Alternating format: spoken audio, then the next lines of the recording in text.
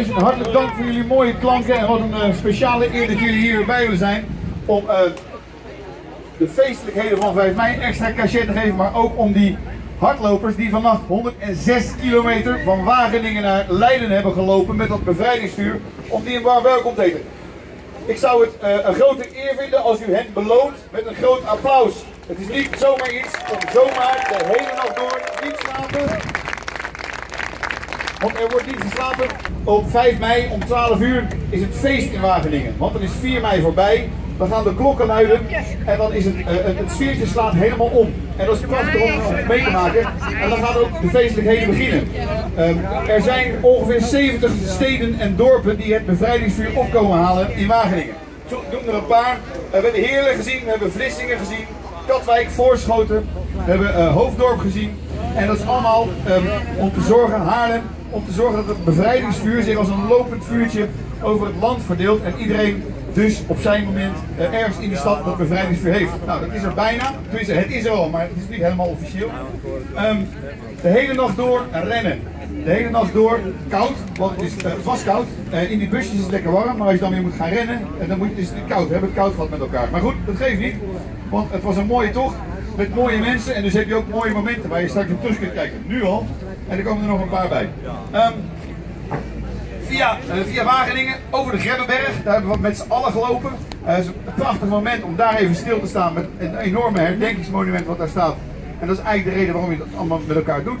Amerongen, Maren, de piramide van Austerlitz zijn we geweest. Zeist, dan gaan we via de Beeld, Utrecht, Breukelen, Zevenhoven, Wouwbrugge, Leiden-dorp. En uiteindelijk komen we dan in deze prachtige stad Leiden aan. En uh, dat hebben jullie met elkaar fantastisch gedaan. Ik wil alleen heel even kort vragen. Um, Waarom is het zo belangrijk dat we dat bevrijdingsvuur naar Leiden toe brengen? Ja, dat is vooral belangrijk omdat we vandaag stilstaan bij vrijheid.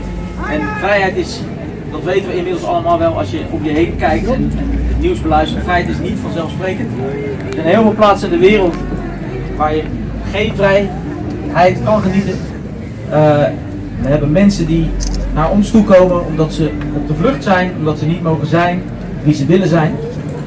Dus is dat een uitgelezen moment, denk ik, om vrijheid te vieren. Dat kunnen we niet vaak genoeg doen.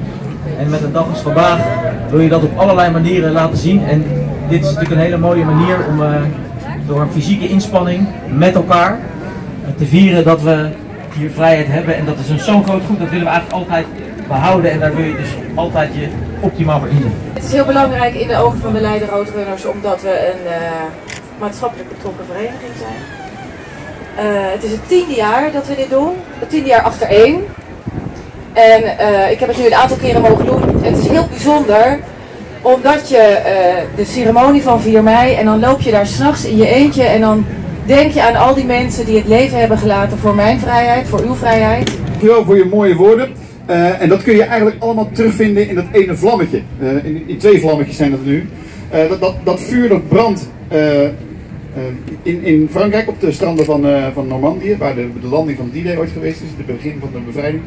En dat, dat, vuur wordt dan naar Wageningen gebracht en wij brengen dat dan hier naartoe. Ik wilde in ieder geval een warm welkom heten de Lord Mayor of Oxford. I'm really honored to be here representing Oxford with the Leiden Twin City. Uh, and since yesterday I met a lot of people and since this morning uh, uh, very good hospitality from all of you. Uh, and uh, on this day of your liberation, I really congratulate you from the city of Oxford and from the UK.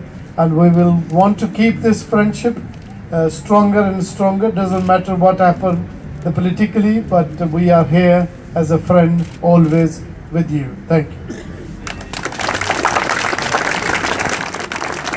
Thank you very much. Thank you very much. And on Uh,